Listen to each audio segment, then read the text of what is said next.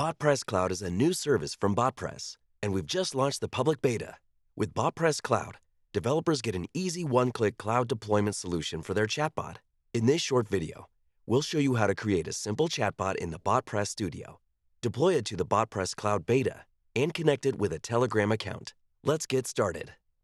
First, open a browser and go to app.botpress.cloud.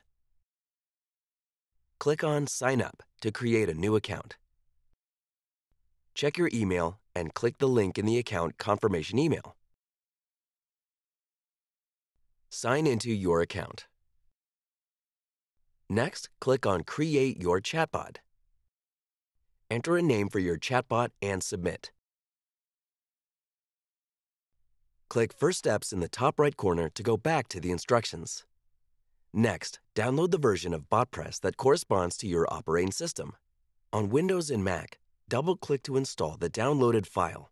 Then use your operating system's application launcher to find and run BotPress Beta. On Linux, unzip the folder. Double-click the BP file to start the application. Wait until you get a message asking for you to go to localhost colon 3000, and then open the link in your browser.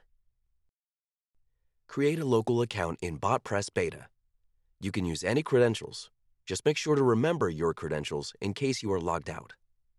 In the BotPress administration panel, click Create Bot, then New Bot to open the bot creation panel. Give your bot a name and ID that will be used as a reference for development only. Select the Learn BotPress Basics template, then click Enable BotPress Cloud. Go back to the chatbot profile page in app.botpress.cloud and copy over the API key and API secret fields. Submit to create the bot, then open it up.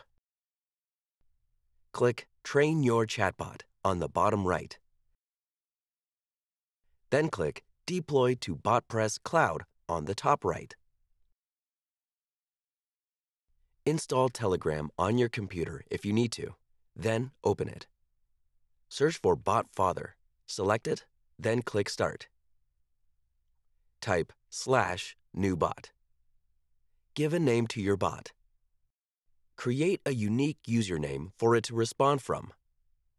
The BotFather will respond with an HTTP API token. Copy that over to the bot token field on the Telegram channel page for your chatbot in app.botpress.cloud. Click the enabled Not and hit Save. Finally, go back to Telegram and click the link provided by the BotFather to open a chat conversation. Test the bot by submitting text. And that's it. We're so excited to be launching BotPress Cloud Beta. If you have any questions or feedback, please head over to our GitHub discussions page.